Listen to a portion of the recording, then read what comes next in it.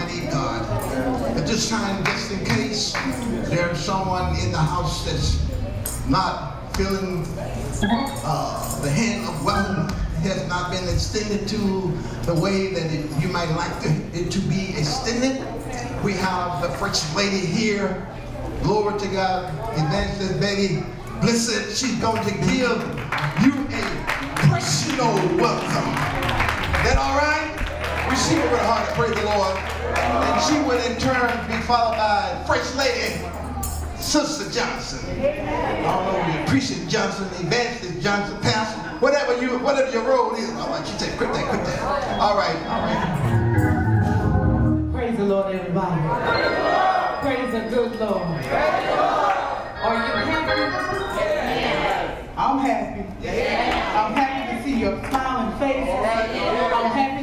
God brought you here. Hallelujah. Friends, some old, some new, but your friends. But after you become friends for a while, God turned you into family. Look at your neighbor and say, we family. Look at on the other side and say, it's a family affair. And we know how to worship the Lord. Because we are connected. I, I just want to I want to thank the Lord for Bishop Johnson and, and his lady. I want you to stand up because I'm going to pass it right on over to you. Because I think about, I said, we haven't known each other that long. But the first time I went to Greater Bethel, well, it wasn't the first time going to Greater Bethel, but she was there. But she was waiting in the hallway. She didn't know who I was, and I didn't know who she was, but the Spirit knew.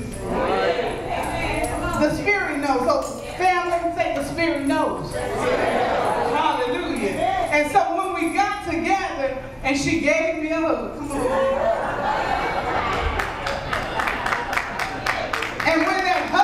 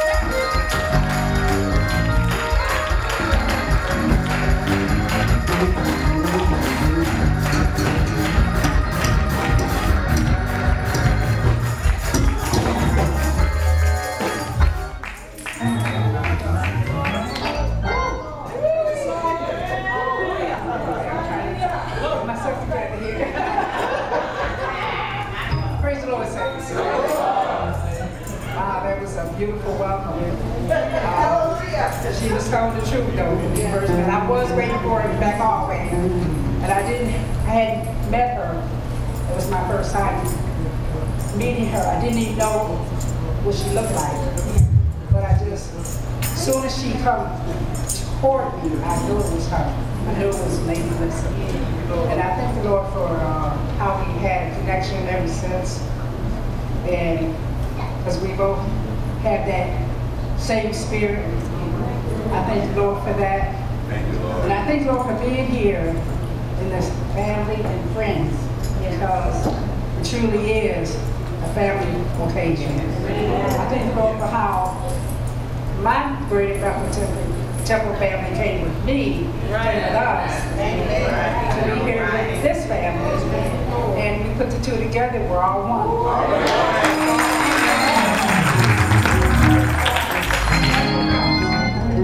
main thing is the Holy Ghost is here. Oh, oh, that was a beautiful welcome. We do feel welcome in this place. And I thank the Lord for my pastor. Yeah. My husband. Yeah. Can't get no better than that, like I said today. I got one up on everybody. He my husband. All right. He's my pastor, he's my husband. All right. I got praying though, but uh, Yeah. I thank the Lord for it. Good Pastor Blissett, First Lady, all the saints here. Love you.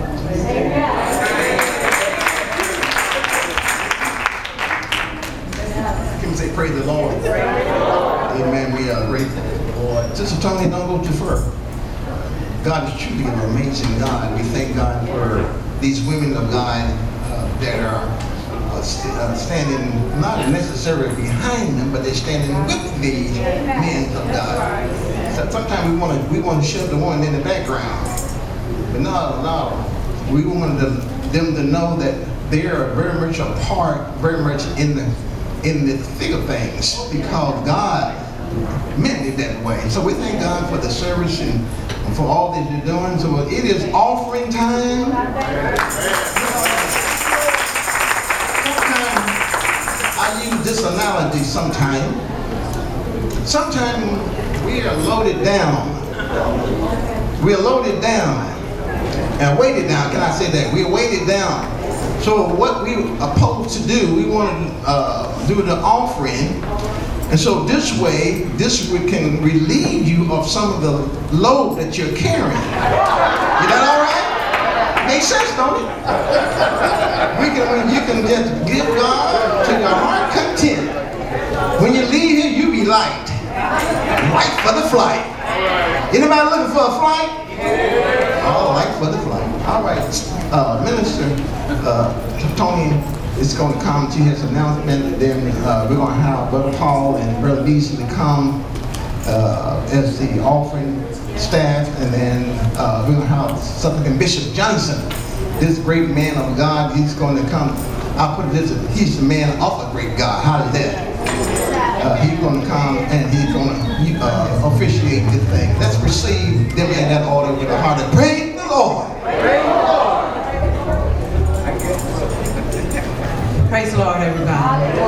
Okay, our Lord's Temple and those, know that uh, for family and friends, we do have a little competition.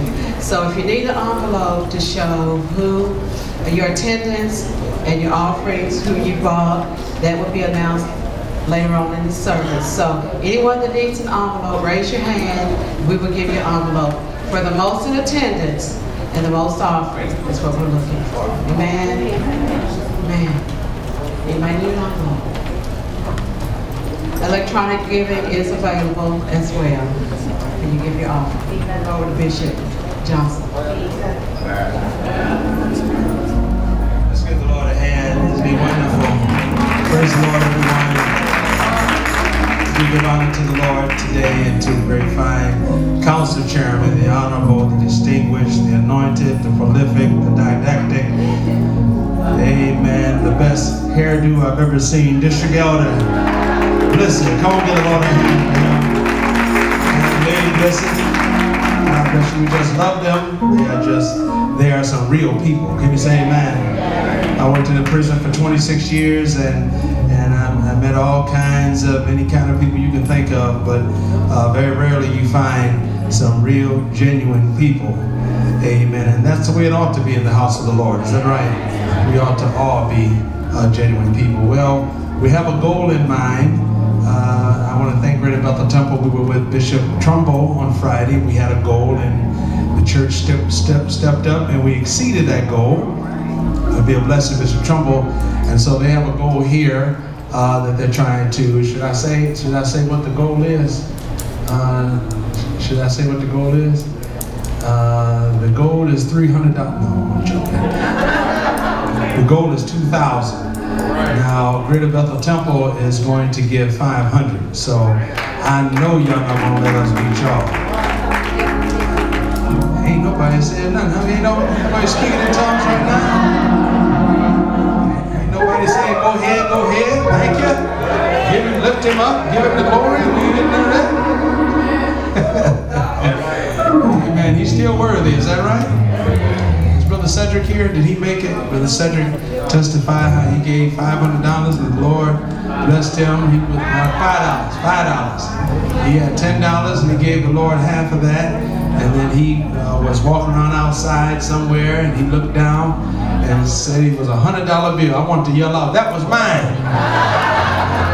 I was nowhere around. Say that's, I, I, try to claim everything. Every time my wife finds something, I say, didn't I drop that? You know, and, and of course, uh, Elder here uh, made me nervous because he started calling her uh, um, evangelist, preacher, and I, I said, Lord, man, you have an agreement, only one preacher in the family, so, uh, but, but don't, don't get no ideas, honey. Get no, get no ideas. Praise the Lord. So we're going to represent with 500 and we're going to ask Greater Bethel whatever you can give uh, to help this great church. Uh, it's always a blessing when you help the pastor. Uh, when you help the pastor and First Lady, you help the church. Amen. Can we say amen? Amen. Because you all know we go through so much. Church blessed me today with uh, uh, all those birthday cards. I was in the office reading them. Uh, such beautiful cards. Uh, just, I tell you, it was uh, um, just wonderful and touching. And when Brother Kirby came knocking on the door, interrupted my moment. Put a lock on that door, but it was really, really enjoyed that. I'll be, I'll be 55 June 5th. All those fives. I was talking to my brother and and uh, he said, what's your birthday again? I said, 6564. He was writing down 6564. I said, yeah. I said, you know, mama's hers was 1226, 33. He said, 1226. I know, what is he writing? I said, you know, Floyd's was uh, 8, 12. He said, oh, those some good numbers. I said, hold on. I said, you hit, I want my cut for the church he called me. So it's good to see Lady Shannon in our midst. God bless you, Lady Shannon. It's good to see her on today. All right, so we're going to bless the offering right now. We're going to bless it when we uh, take it up. Uh, and let the Lord multiply. Can we say amen? amen? Amen. This is a beautiful church, beautiful place. Amen. Beautiful people. God bless you. Let's bow our heads and morning prayer. Lord Jesus Christ, we thank you for safe passage over the dangerous highways, Lord, and brought all of us here safely. And oh God, we are happy and rejoicing uh, in the spirit of fellowship and love that we feel in this holy temple, the Lord's temple. Oh God, we pray right now that you will bless this offering. You know we have a goal in mind. We pray, Lord, that you move upon the hearts of your people. We cannot beat you giving, no matter how hard we may try, but we thank you right now in advance for multiplying this offering. Let it be used for your glory and for your praise. Bless your people in their giving. You give to us, we give back to you, Lord. Bless everyone with a financial blessing. Oh God, remind them it's because of the sacrifice that they gave in this offering. We thank you and praise you in Jesus' name. Come on, clap your hands, say amen. The Honorable Pastor Bell. Give the Lord a hand. Pastor Bill, right? So beautiful there. God bless you, Pastor Bill. All right, you're in the hands of, of these deacons, brothers. He ain't claiming that, is he? Brothers. God bless you. All right, good brothers. Can you say amen? Sharp, too. Well, that tie. Oh, that tie matched the shirt. shirt might be too big for me. I don't know.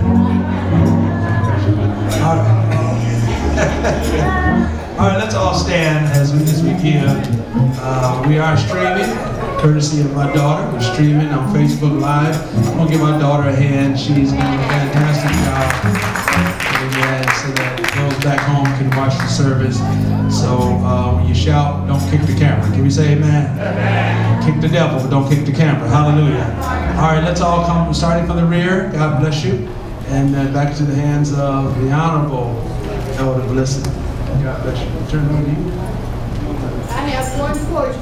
Oh. What do the people do that's got brought friends or guests or whatever? What do they do with their envelope? They got it broke down on the envelope. Okay. All Face right. everyone facing out.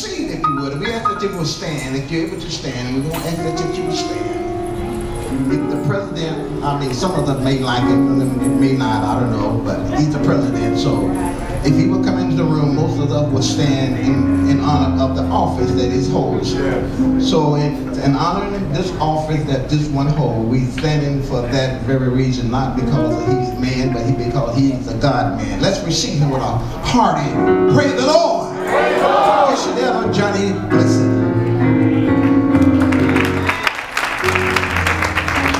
bless you. May be seated in the house of the Lord. We certainly um, give God praise.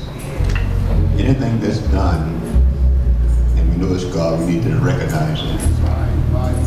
And let us talk more about Jesus. I remember the song, let us sing, sing, sing about Jesus. I remember that song?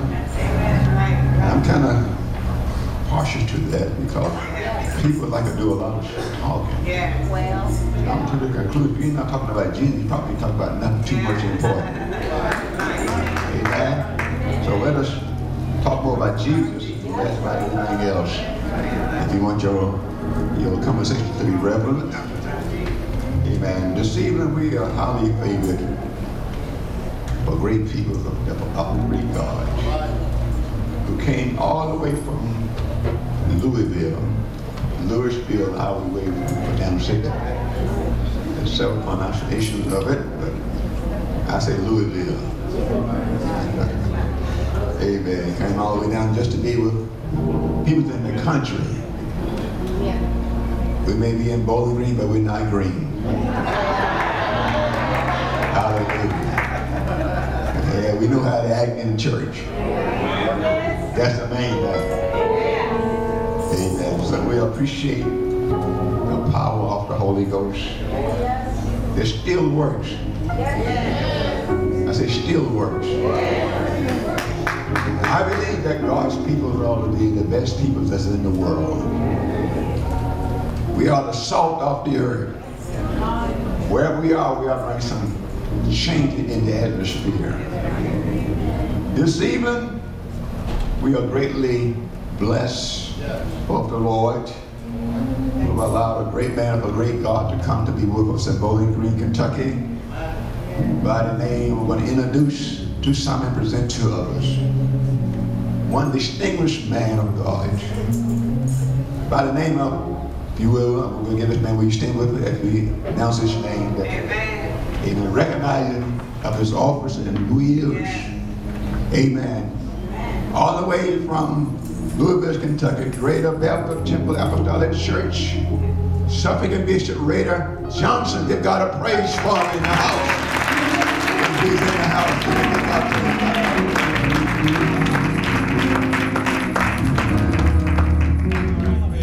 Praise the Lord, everyone.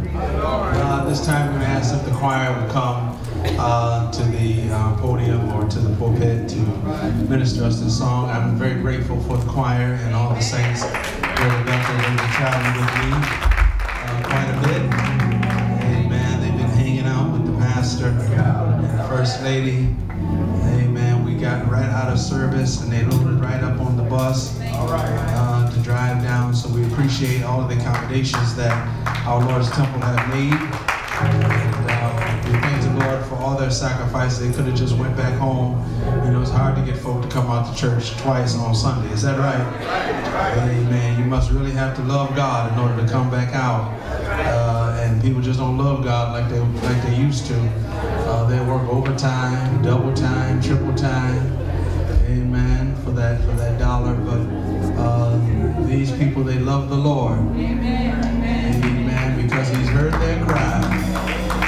So they they sang at the Apostolic World Christian Fellowship on uh, Tuesday night.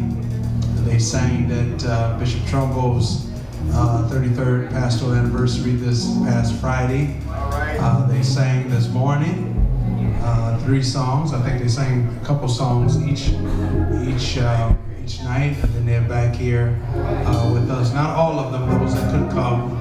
Um, but we thank the Lord for their sacrifice and also the Greater Bethel Temple Saints that are here with us and our ministers. Uh, praise the Lord. Uh, deaconess is here. Do we have any other deacons is here? She's the she's the lone one that made it. Uh, I think she's been in all the services. The choir is sang, and, and, of course we have Mother Julia Williams. Where's she at? Where Mother Williams go? There she is. My daughter was telling me that on the way down she was asking one of the saints, you going to Bowling Green? And he said, oh no. She said, you might as well go. You ain't gonna do nothing but go home. so Mother Julia's here with us and Sister Perry is with us. Amen. Sister Smith is with us. Sister Peggy, the Longs, Dr. Singleton, Evangelist Beaudre. She's been sick today, but the Lord touched her and she's here right now. Our social pastors here. Uh, Trustee Radford, his wife is here. Praise the Lord. Uh, the Mars are here. Praise the Lord. The Toomers are here. Amen. Sister Alexia is here. She just got saved a few weeks ago. She's here. Praise the Lord.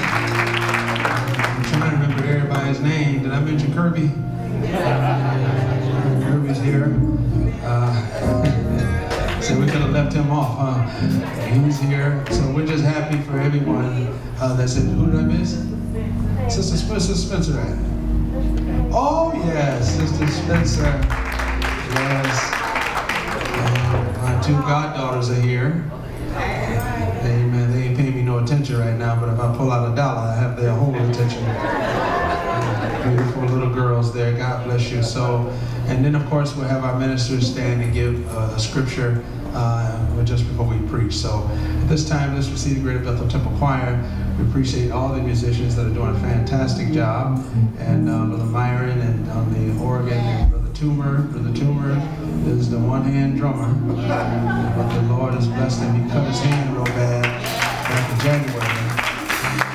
The doctor told him that you wouldn't have how much usage in the hand? He said you wouldn't have, you would have or you wouldn't have up to 80%, but he's been banging on those drums like uh, like like nobody's business. So the,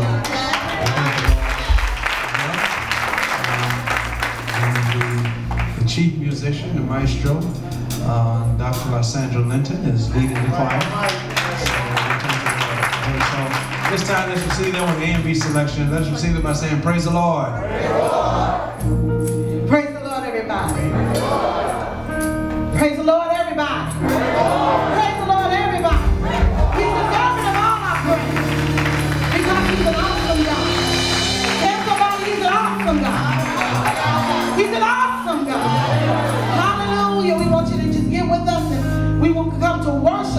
leading you in worship.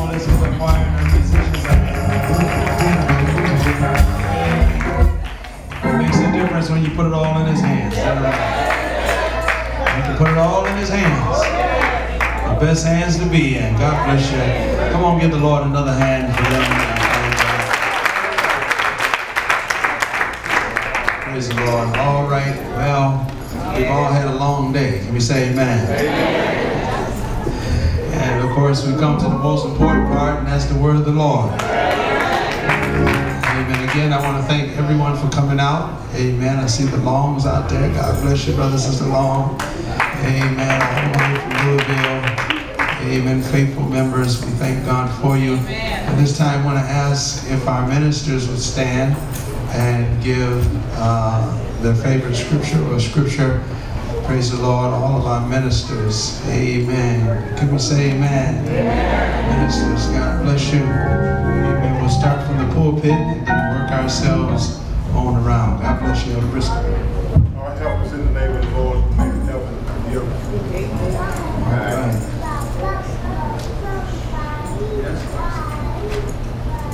because thou hast been my help. Therefore, in the shadow of thy wings will I rejoice.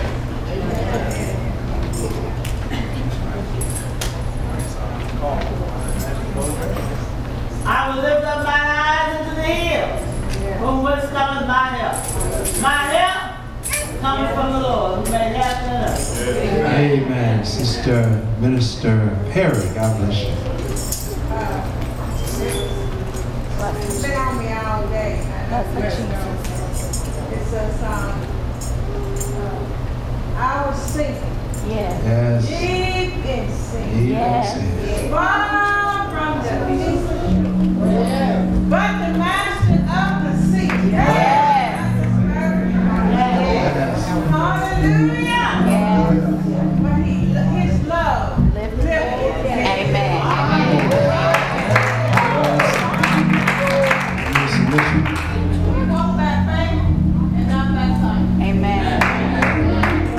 Long. If it had not been for the Lord who was on my side, where would I be? Mr. Buckner. Now unto him who is able to do Yes, yes, yes. Monday. above all that we can think or ask, according to the power that worketh in us. God bless you. God bless you. Minister Dunn. He that dwell in the secret place of the Most High shall abide in the shadow of Almighty. Minister Lady. That the Lord is good. Blessed Yes. is the man that trusts in him. Amen. Amen. Minister Griffin. One day while I wait till my change comes. Psalm 23 says, The Lord is my shepherd, I shall not want. He makes me to lie down in green pastures. He shall still water and restore my soul. He leads me in the path of righteousness. For his name's sake, yea, though I walk through the valley of the Thou art with me. Thy rod and staff, they comfort me. Thy prayer takes front of my head, my head don't. My cup overruns, surely goodness and mercy. Yes. Follow me all the days of my life. All right now. Dwell in the Lord. All right now. Amen. Minister Toomer. Lean not to thy own understanding, but in all thy ways acknowledge him, and he will direct your path. God bless you. Amen. Three members of our official board, deacons, deaconess, trustees, I want you to stand and give a scripture. Yeah, praise the Lord, praise the Lord. Deaconess Gail Briscoe, God bless you. I bless the Lord at all times. His praises shall continually be in my mouth. Amen. Amen. Trustee Celestine Travian, God bless you. Because the Holy Night is the pleasure of life, my lips shall praise you. All right. Trustee Radford. It would have been better for them not to have known the ways of righteousness than to have known it to turn from the holy commandment delivered unto them. God. Amen. Amen. Trustee Shannon. For the kingdom of God do not eat and drink, but righteousness, peace, and joy in the Holy Ghost. Amen. Amen. Amen. Trustee Spalding. The name of the Lord is a strong tower. The righteous one it Yes. Amen. Brother Breckenridge. I can do all things through Christ. Strengthen. All right. Come on, give the Lord a hand. Worthy to be praised. Amen. Worthy to be praised. God bless you. We're going to call your attention to the 24th chapter of the Gospel according to St. Matthew. Uh, we're not going to hold you long. You just uh, give me about two and a half hours and she'll be done. I can't preach that long anymore. Man, I'm short-winded. I can't preach that long anymore. I can't even preach that long practicing. I used to be able to preach practicing for a long time. Praise the Lord. But nonetheless, we want to give you what thus saith the Lord, and then we're going to let you go home and watch the Raptors beat the Warriors. Lord have mercy.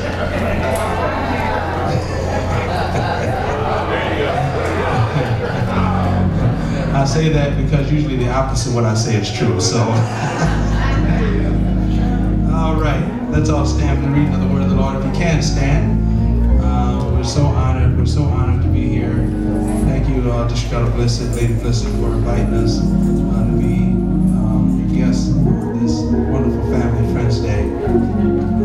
Matthew chapter 24, and um, I want to you a lot of reading, so we'll just read um, three verses, verse 12, 13, and 14. And because iniquity shall abound, the love of many shall wax cold. But he that shall endure unto the end, the same shall be saved. This gospel of the kingdom shall be preached in all the world for a witness unto all nations, and then shall the end come. Turn to your neighbor and say, We will win, we will win. in the end. In the end. God bless you.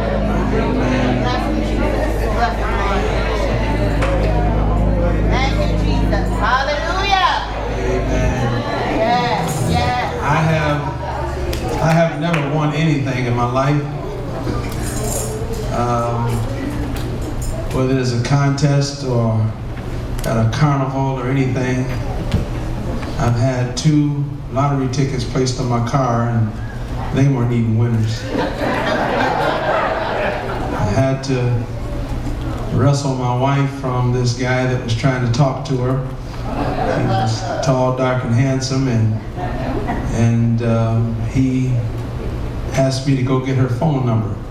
Now, uh, I still had a little bit of the world in me because you don't go to a woman to get a number for her for somebody else. So I knew my rap game wasn't completely gone. Because I got the number and slipped out the back door.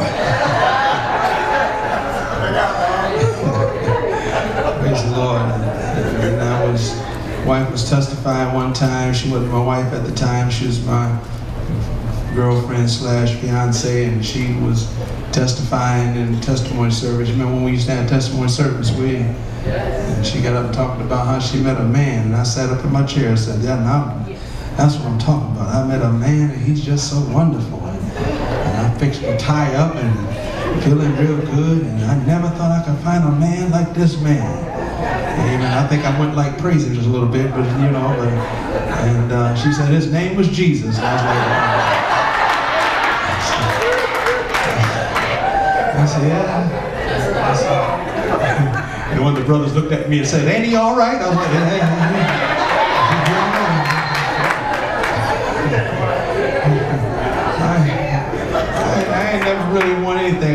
when the kids, my wife took the kids to the carnival, they was coming back with cakes and pies and all the other stuff that they won. Um, but if I'm gonna win anything, I'm gonna win eternal life.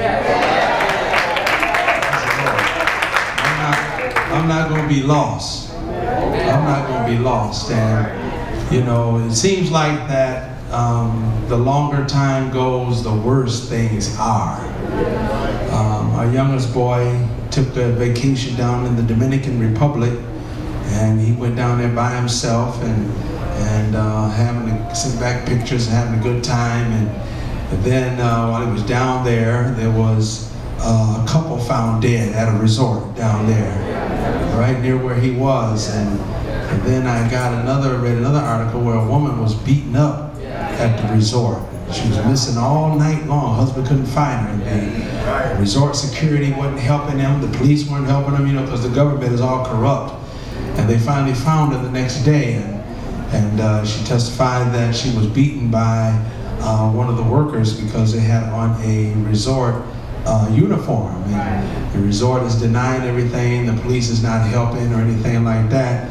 Uh, then there was a couple that um, in the Dominican that uh, were heading to the airport and they just seemingly disappeared and they found them dead. And they found another couple dead in the resort room you know. It's just just some dangerous times that are going on. And uh, Minister Griffin was quoting that 23rd Psalm yea though I walk through the valley the shadow of death I was thinking yea though I walk through the city of Louisville this morning I will fear no evil. Can you say amen. It's just bad all over, bad all over the place.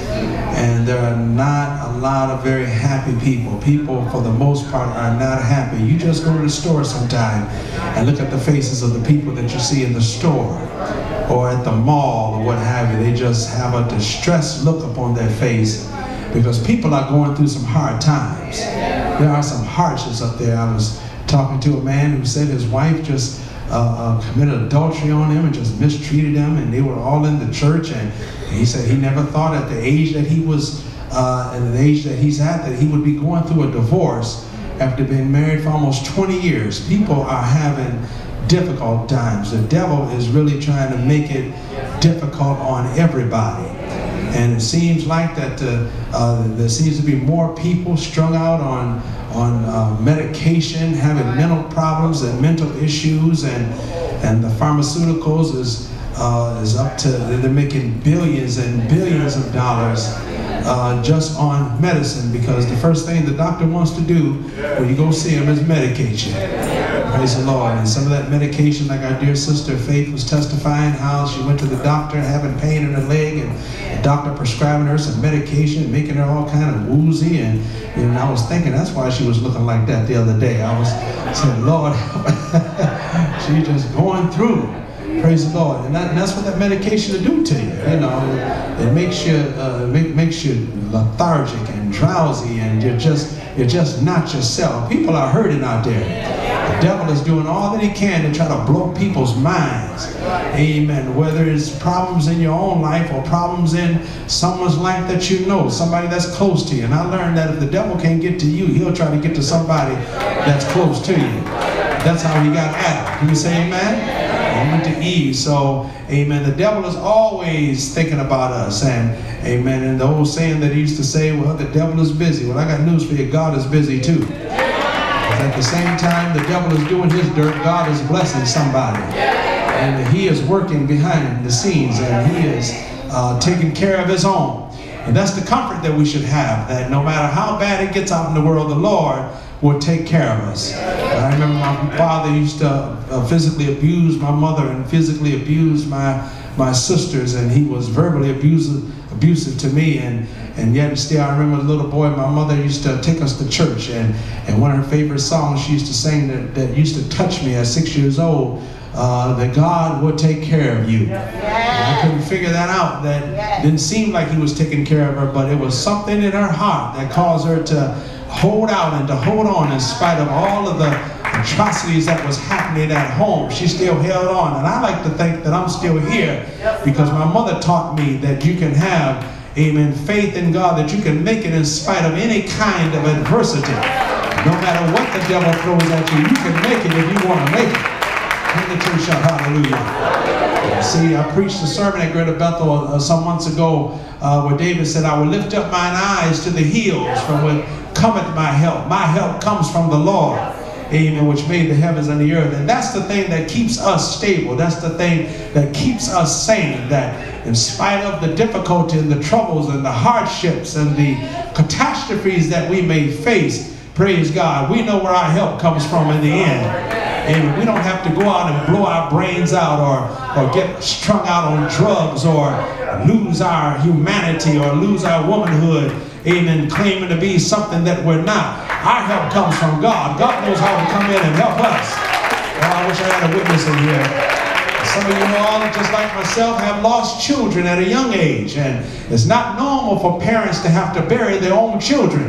But I've learned that God can keep you in the midst of even that situation. Praise the Lord. Because it's easy for folk to give up on God when they're going through some hard times. And praise the Lord, looking at that somebody else that seemingly is riding on a flowery bed of ease and seem like that they're not going anything or going through anything. And then we look at ourselves and even have a little pity party even within our own selves because we are looking at what somebody else seemingly successful, but you don't know what folk are going through. church, hallelujah. You don't people are dealing with in the midnight hour when they're lying there all alone. Praise the Lord. Amen. But I thank God that my help comes from the Lord at all times. That's why I will bless him at all times. Amen. Because I know what he means to me. I know what he has done for me.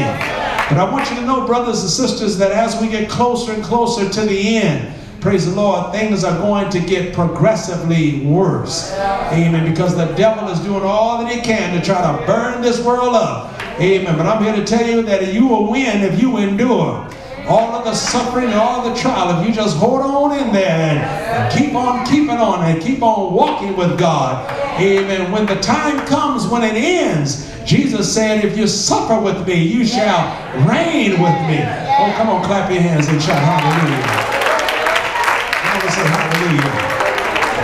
Jesus here in this 24th chapter is dealing with what we call eschatology. Eschatology is a theological term that deals with the study of the end times.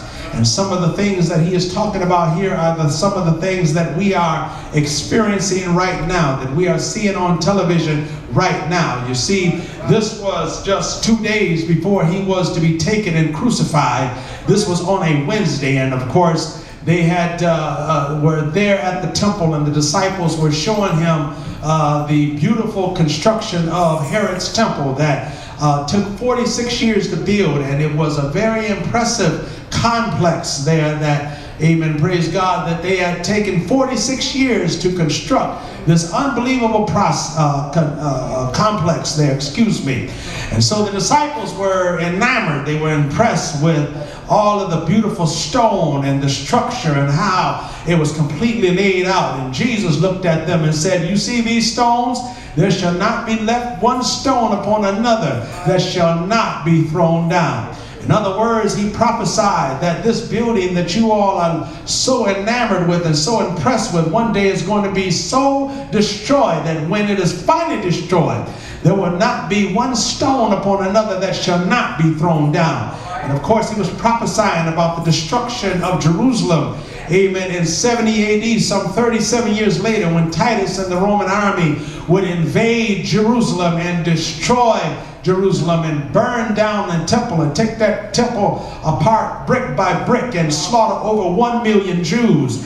And history tells us that the slaughter was so great that amen, that the soldiers got sick of the blood and they just turned their backs and let some of those Jews just escape because they've just were sickened with the sight of blood. And Titus and the Roman army marched in that Jerusalem and destroyed, completely obliterated that city. And the only thing that they left standing was a wall, a portion, a portion of a wall around Jerusalem, which is what they call today the Wailing Wall. Can the church say amen? Which the Jews go there and weep and wail, even on their feast days, because they cannot worship God according to the law, even as the law has prescribed for them to do. And so the disciples were completely shocked about this. This was something that they never thought uh, could even happen. They never even seen it coming. And so it rose the curiosity of the disciples. And the Bible says that they went to Jesus privately and said, Tell us, when shall these things be? When is this going to happen?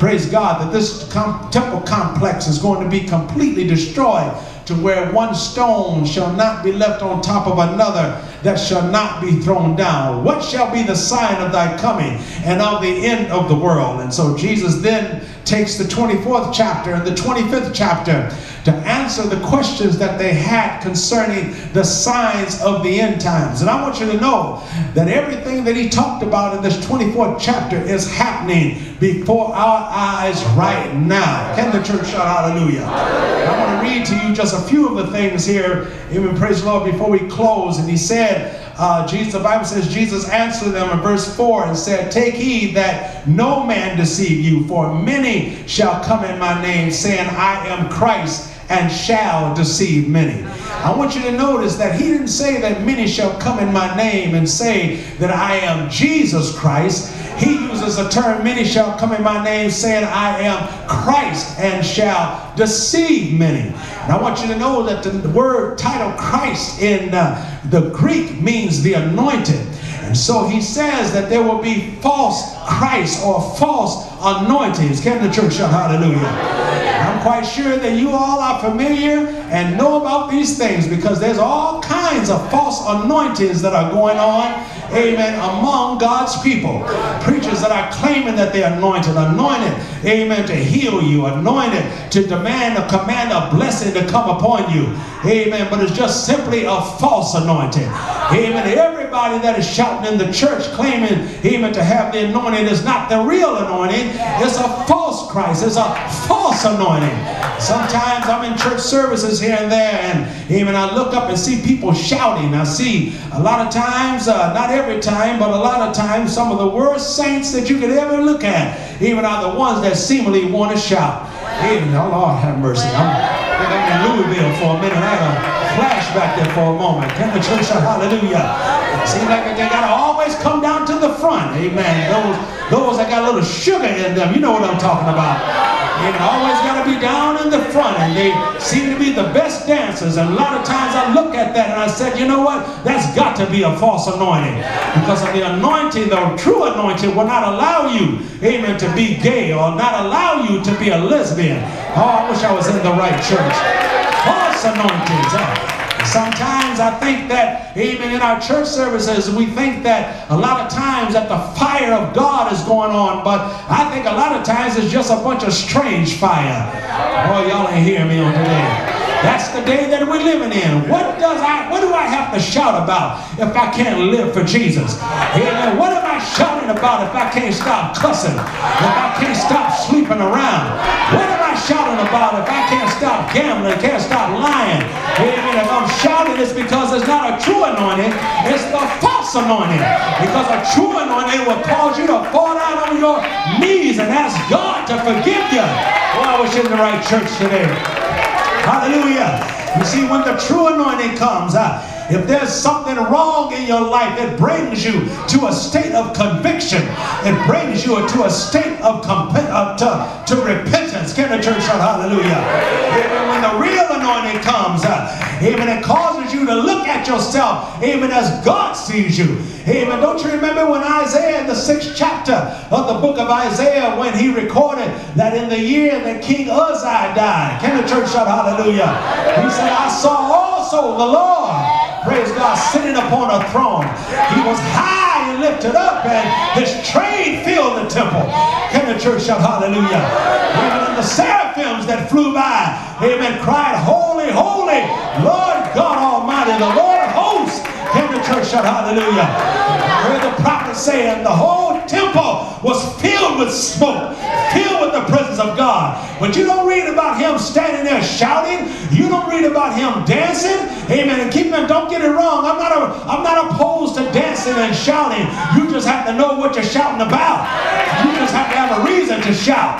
Can the church shout hallelujah? Amen. Praise the Lord. And when Isaiah saw the Lord and felt the presence of God, amen. Your Bible said, he said, woe is me. Amen. For I am a man that dwells uh, in the midst of an unclean people. For mine eyes have seen the King, even the Lord of hosts. Uh, when the presence of God comes into the room, uh, if you ain't right, you got to get right. Uh. Come on, clap your hands and shout hallelujah. Hallelujah. Come on and say hallelujah. False Christ in the church.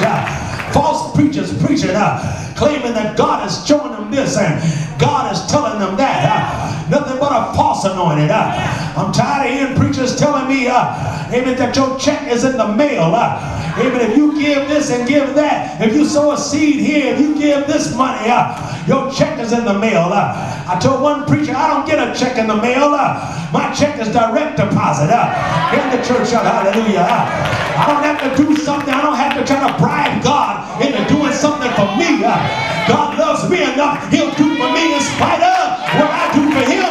Because he realizes that I'm not worthy. Amen. I wonder y'all hear me today. I'm not trying to say, uh, amen, that there's not a standard we need to live up to. Uh, amen, but you can't bribe God into giving you anything. Uh, amen, you can't buy God with money. Uh, you can't buy God by impressing him. Uh, amen. We're living in a day of what Jesus talked about. Uh, amen. He said, uh, these people honor me with their mouth uh, and with their lips. Uh, do honor me. Can the church shout hallelujah? But their heart is far from me. Uh, I want y'all hearing me tonight. Uh, I don't want God to look at me like that. Uh, I want to love him because he's God. I want to worship him because, amen, he first loved me. I want to serve him because of what he's done for me. How he brought me out.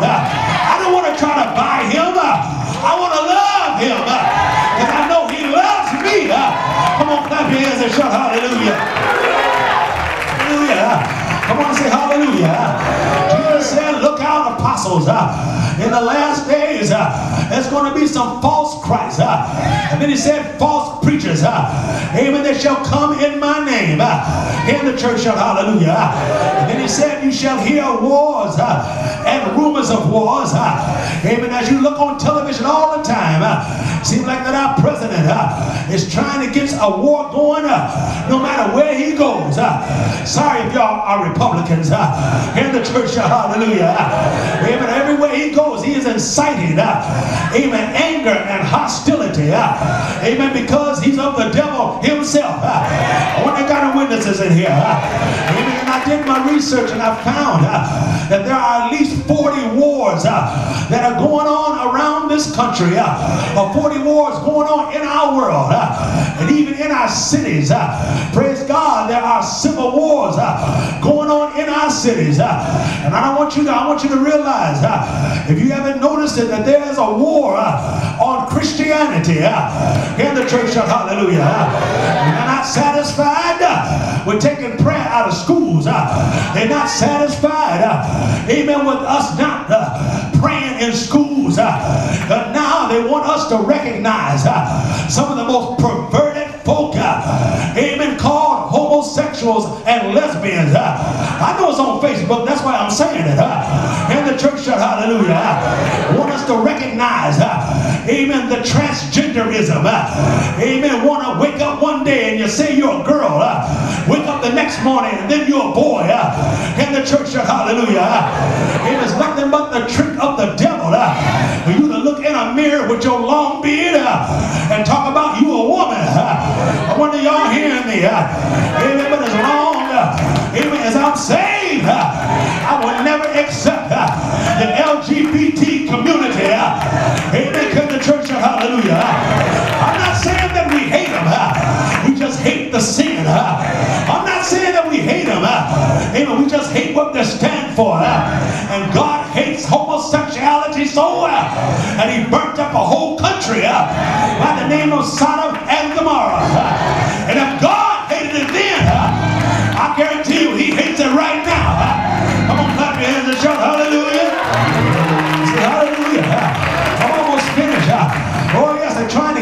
To get us to accept it. Uh, and they're trying to pass laws, uh, even to make it to, to uh, even that every church uh, has got to accept uh, transgender people. Uh, they're trying to pass laws, uh, amen, to, amen, make it a law that uh, if you're a minister and you were not married to gay folk, uh, and it is a felony uh, already in the country of Canada, uh, amen, to preach against homosexuality uh, is a 20-year felony. Uh, and we've had some apostolic preachers uh, that have gone to prison uh, up there in Canada uh, because they stood uh, against this foul, amen, version of fornication uh, in the church. Hallelujah. Amen. You see, saints, we're being tested today. If you mean business and walking with God, you are going to be tested. Amen. If about going to heaven to be with Jesus, uh, you are going to be tested to your core. Amen. The devil uh, is going to challenge you. uh, All those testimonies that you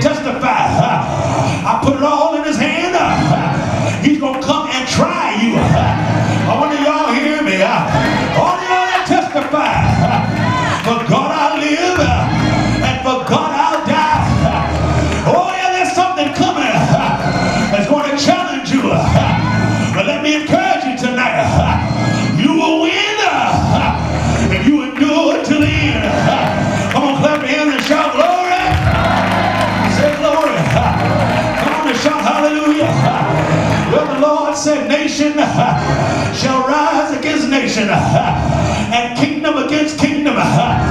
He said there'll be pestilence in divers places, earthquakes in divers places. And I can imagine the apostles being shocked beyond measure because they never heard anything like this that's coming. And then I heard Jesus say in verse number 8, all these things uh, are just the beginning of sorrows. In the church, hallelujah. Look at how bad it is out there. Deficit in the trillions. Uh, poverty all over the land. Uh, greed and corruption in the highest forms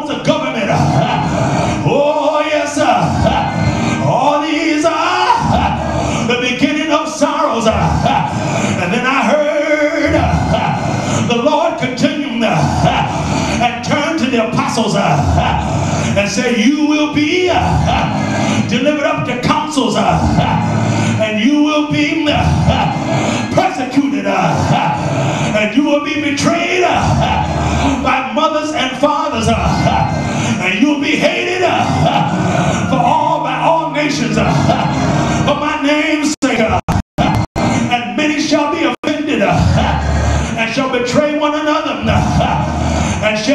one another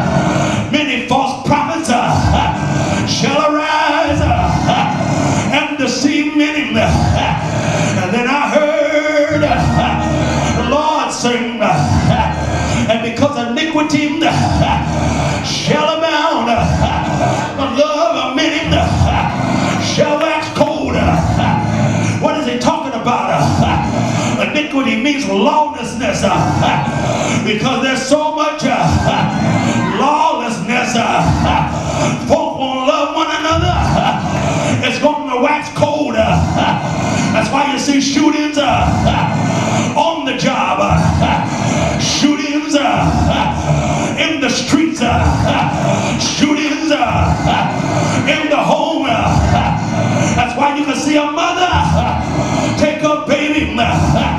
Throw it in a garbage can. That's why you can see a father murder his children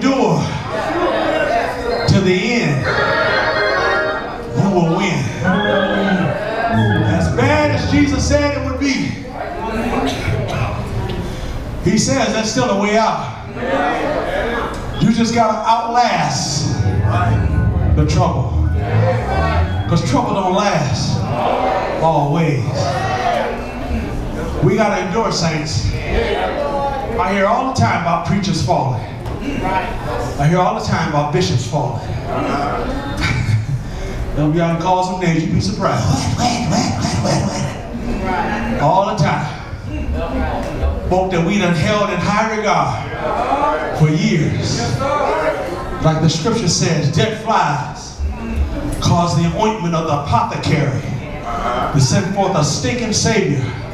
So doth a little folly to him that is in for reputation and honor. It only takes a little folly to bring you down. And I refuse to be brought down. I'm going to endure to the end. And the biggest enemy is not your brother and your sister. Look in the mirror. Can we say amen? You look at the enemy all the time. The biggest enemy. Yeah. It ain't the white man.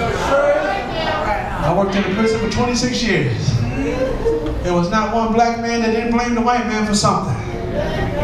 I said, wasn't the white man's house you broke into?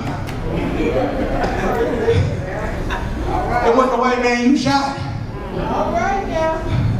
I'm glad the white man locked you up, keep protect you from me.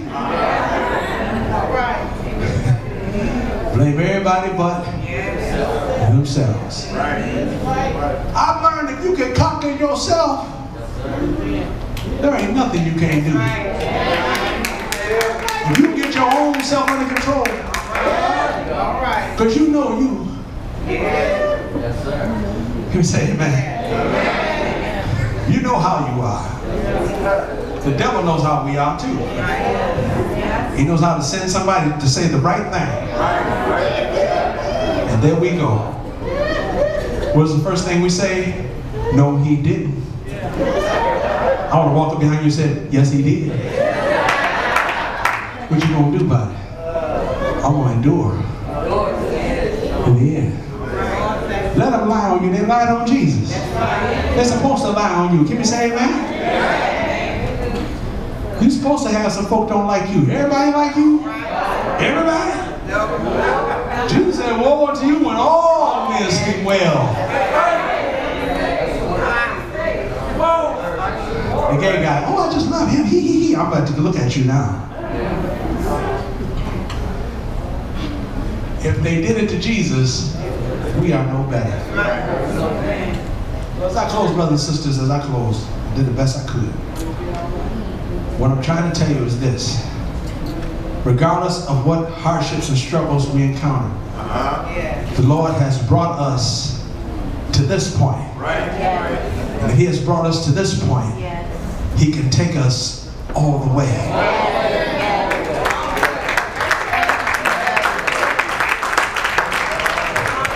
He didn't say, He that prays me to the end shall be saved. The Bible says, let everything that have breath what? Anything with breath can praise the Lord. That's right. That's right. But everybody that has breath can't endure until the end. That's right. That's it. When your mind is made up, then you can shout because you know that your mind is made up. Now, I'm not opposed to shouting. I just think that some folks shouldn't be shouting. To be crying. The Bible says, let your laughter turn to what? Mourning. You can't shout off everything, is that right? Ain't nothing wrong with shouting now. I can't shout. I can holler. I can make a noise that the Lord will inter- interpret a joyful noise. But the question is, are we enduring? Are we working on ourselves? Are we paying attention to ourselves? Are we watching somebody else? Are we so focused on what somebody did to us or what I'm doing to myself? By focusing on what other folks are doing to me. See, what folk, other folk are doing to you if you're not careful, you'll be focused on that. And at the same time, you are doing something to yourself by watching them do something to you. But you need to be paying attention to yourself. Does that make sense? Sound like a riddle, didn't it? Because it's not about them, it's about me. Because I've taken a different attitude.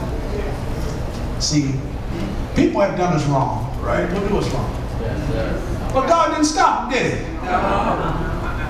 So what am I doing trying to stop All right.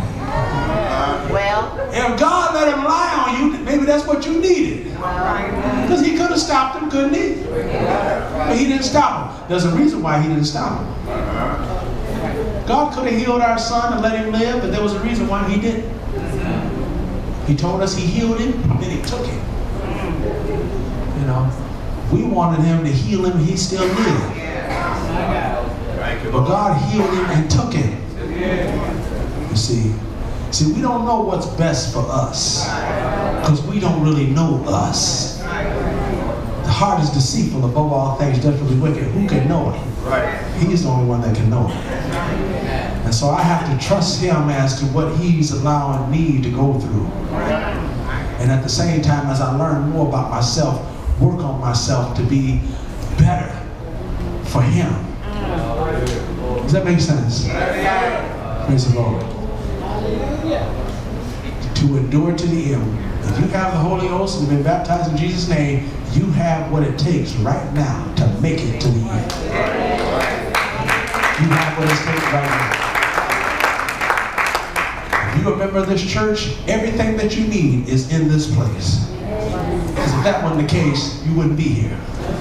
You'd be someplace else. Can we say amen? amen? You have what it takes. What you have, you have what it takes. That's the Holy Ghost. Right. All we have to do is allow the Holy Ghost to conform us into the image of Jesus Christ. Yeah. Endure our troubles. Yeah. And in the end, we win because we are getting up out of here. I don't hear much about the rapture no more, but I'm talking about because I'm looking to it. I'm looking for Jesus. Somebody asked me, where do you see Greater Bethel Temple in five years? I said, in heaven. All right. I said, where you going to be in five years? I said to myself, you ain't looking to go to heaven then, are you? That's what I'm looking about. See, I'm going to say this and I close. Bishop Archie Eggleton in Jackson gave me my first concept of God when I was six years old. He was my first pastor. And I sat under him from six till I was 15. He was the one that gave me my first concept of God. I went and visited him a couple weeks ago because he's dying. Uh, and I went there and thanked him for preaching the gospel to me because he, and he preached about the coming of the Lord when I was six years old. And I couldn't shake it. The fact that God was coming, the one that made all of this, is coming. I was six years old listening to that. And I could never shake it. It followed me everywhere I went. Got the Holy Ghost. He baptized me in Jesus' name at 12 years old. And three years later, I got the Holy Ghost. It's always been always trace it back to that sermon he preached when I was six years old. The Lord is coming. And that's why I talk about it to this day. That did something to me. Praise the Lord. You don't hear about it no more. You know, you hear about your season. It's your season. You know, I don't know about you, but every season is mine. Because every day with Jesus is what? What, other season you talking about? Say, amen. I'm, I'm, in my, I'm always in my season. When I'm going through, I'm in my season. What other season are you looking for? I'm kind of strange, but am I? That's how I think. You know.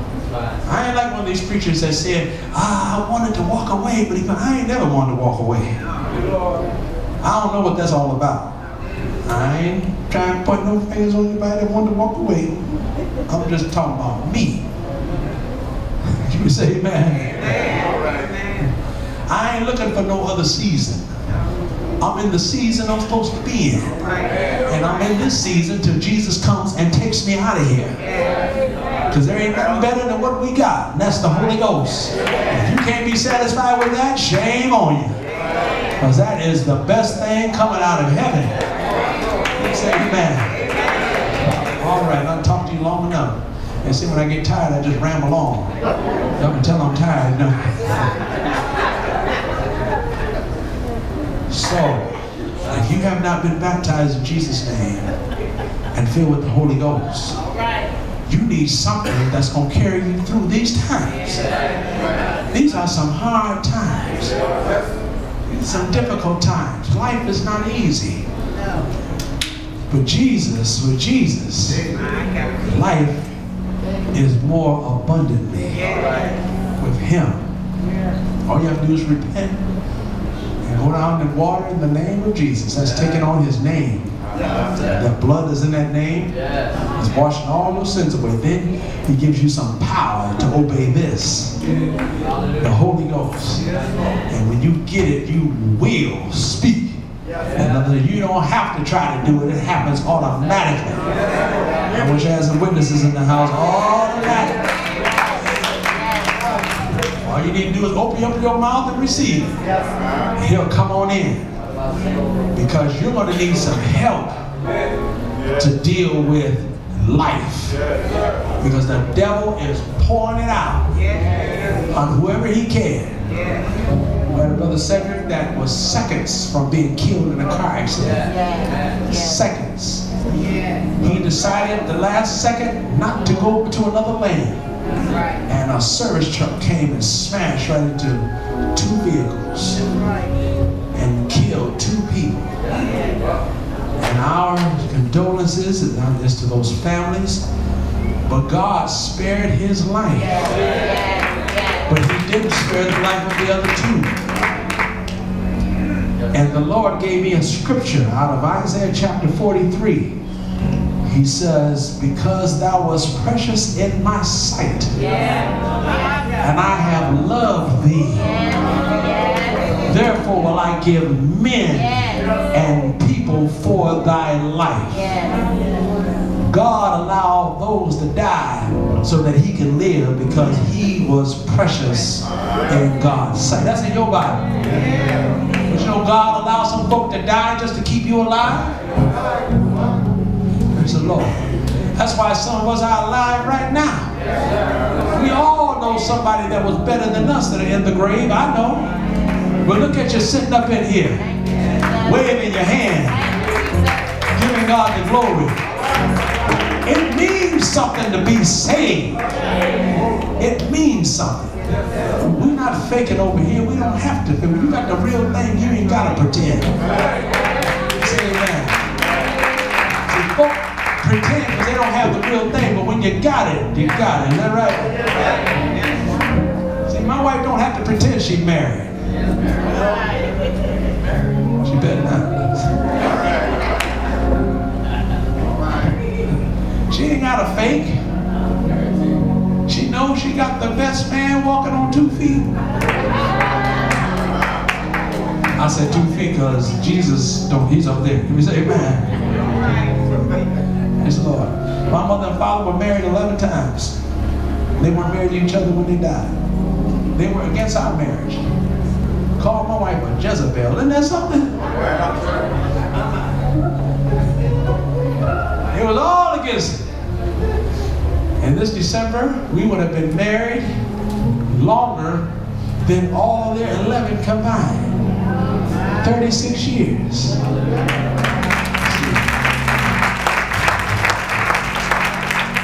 I brag about that. Helps me remember how long I've been married. See, husbands, you want to impress your wife, throw out how long you've been married. Can we say amen? I'm not giving you all my secrets. That's just one of them. Somebody, come on for prayer. Come on for prayer. Come on for prayer. Prayer won't hurt you. Prayer ain't never hurt anybody. Come for prayer. How can somebody talking to God for you hurt you? Everybody can use some prayer.